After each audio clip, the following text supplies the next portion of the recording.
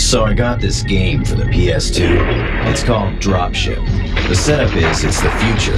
You're part of a multinational anti-terrorist peace force. You pilot dropships and fighters on seek and destroy missions, protect ground forces, blah blah blah. Doesn't look too sharp, but it plays okay. Now here's the problem. I can't get beyond the sixth level. It's driving me nuts. I've played it like 9,000 times and I can't... Uh, I mean, it's only the sixth level. I wanted to review the whole game, but... Whatever. I don't even know what rating to give this game. I'll get back to you if I ever beat it. Maybe one of you guys can do it.